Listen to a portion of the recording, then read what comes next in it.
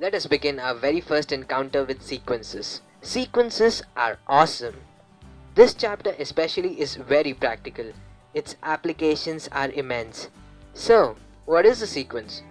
Well, it's just a listing of numbers, but not any random numbers, numbers that follow a specific pattern.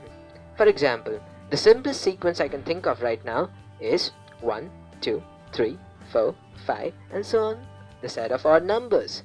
Another example 2, 4, 6, 8 and so on. Even this is a sequence 2, 4, 8, 16 and so on. Additive sequence like the first two are called as the arithmetic progression and the multiplicative sequence like the third one are called as geometric progression.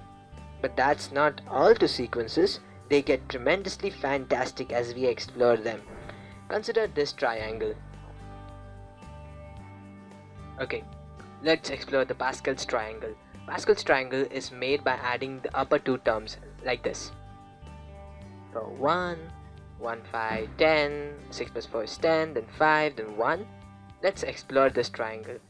Let's sum up the rows. So the first row has 2 to the 0 as its sum and so on as listed. Hey, that's a GP. Now let's look at this special diagonal. Hey, this diagonal was an AP. Let's write the Pascal's triangle in a different way. Okay, now what I'm going to do is something special. Let us sum up the diagonals now. Now it's 1, 1, 2, 3, 5, 8 and if I sum up this last diagonal for now it's 13. Let me write down these numbers. Hey look. Are these numbers special in a certain way? These numbers are named after famous mathematician Leonardo of Pisa, also called as Fibonacci. The sequence goes like this. By default, 0 and 1 are considered the as the starting two elements. Then the sequence proceeds by adding the previous two terms to get the next one. 0, 1. So 0 plus 1 should be 1.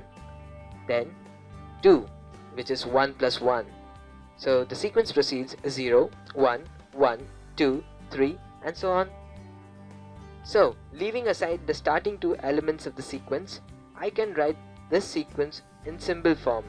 If fn is the nth term of the Fibonacci series, then it is obtained by adding the previous two, n minus 1 and n minus 2th term. So fn would be fn minus 1 plus fn minus 2. Here are the first few numbers in the Fibonacci series. Now, why is this series so special? Let us see. Fibonacci numbers are seen at a lot of places in nature. For example, consider this flower we have. Here, we have color-coded the two anti-clockwise and clockwise pointing spirals with aqua and blue respectively.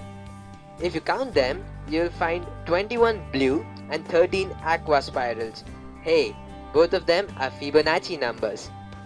We have just barely scratched the surface of Fibonacci numbers in nature. I encourage you to do your share of research. Thank you for joining us.